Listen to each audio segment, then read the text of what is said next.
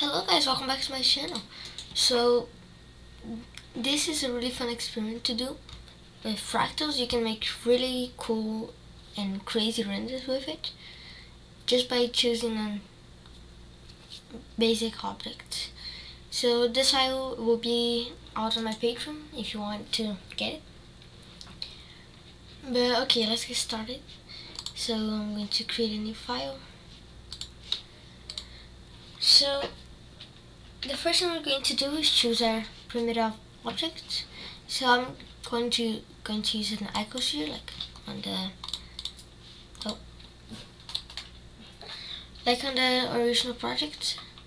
Or you can even go on nodes because that we're going to be using and then create new and you just type what you want to icosphere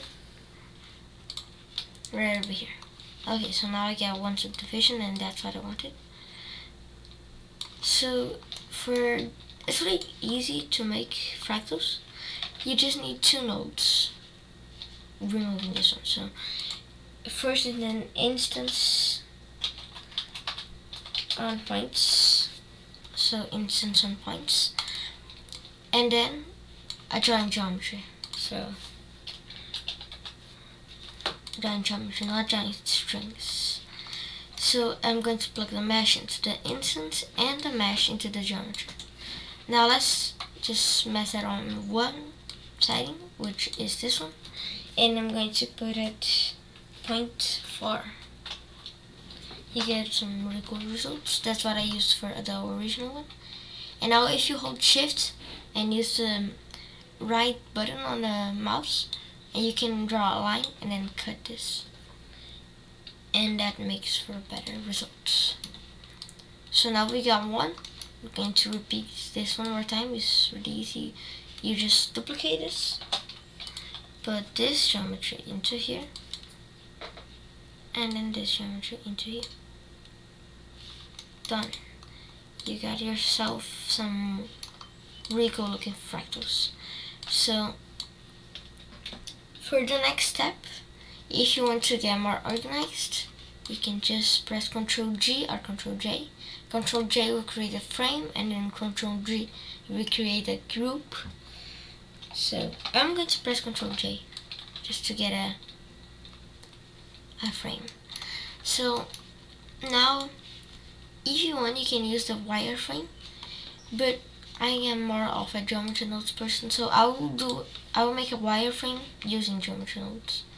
So I'm going to turn this mesh into a curve. So mesh to curve. And then I'm going to put those two, so curve to mesh. And now if you see it's all black and weird. But you can see some kind of wireframe going on. So we got all those lines. Now we need to make them become geometry so we can see on the final render. So I'm going to put a curved circle.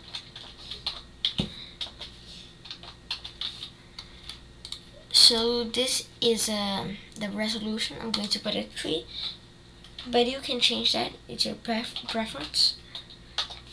This is for the how much it's like a cylinder but then you yeah that's the resolution of the cylinder. And then the for the radius just put 0.08 or 9 so like this. And then we finally plug this into the profile curve. Okay so now we got some really cool already looking. If you want you can just hold shift and lower that because if you don't hold shift it's just really hard to make it. So yeah, 0.06 I think is better. But now everything is shaded smooth and I don't want that.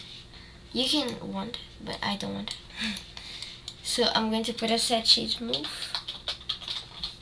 because that, that's how you that's how it works in Geometry Node if you are not using the group input for your base geometry.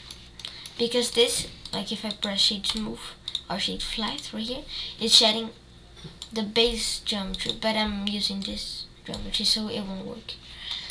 Okay, so enough of explaining, uh, let's just try this and check this, check, like do not check this thing. and then as you can see it's not shaded move anymore.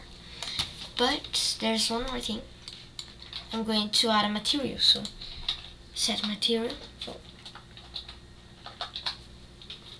Set material right here. And I'm just going to create a material right here. So if you as you can see it's happening the same thing again. We're setting this to the initial geometry but we're using the icosphere and so we need to set the material of the icosphere here. And I like to do at the end because we didn't use actually the icosphere for we just used for a base mesh but then we use this like this curve. So just put it on the end. And then it's just material and now we can finally get out from geometry nodes or you, you can even use the group input and plug what you want to customize like if you want the subdivisions of the icosphere you can put it right here. Or you can put maybe the radius right here and then change move and material yeah so now everything is customizable right up here. Everything that we need. So I'm going to go on the layout again. And you, you just need to add a if you want to know how to do this you can just go on my other tutorial which is I show you how to add backgrounds. So I'm just going to do this using the asset library that I created which I don't show in the tutorial but okay let's now add the background I'm going to put a plane and then bring this up so it's sitting it's not interacting with the plane. So now I'm going to scale this by 6 because that's a good size. And then I'm going to put this and extrude it on the Z. So EZ. And then I'm going to bevel right here on the back. And then just everything. And then I'm going to shade this move. So now we get everything. We can look at the render view. It's horrible. So I use cycles for it. If you don't have if you don't have anything to use cycles, you can use Eevee, of course, but I prefer using cycles sometimes. So for the material of this object, I'm just going to go on Eevee really fast and remove this. So I'm going to put half metallic. I never had done this before.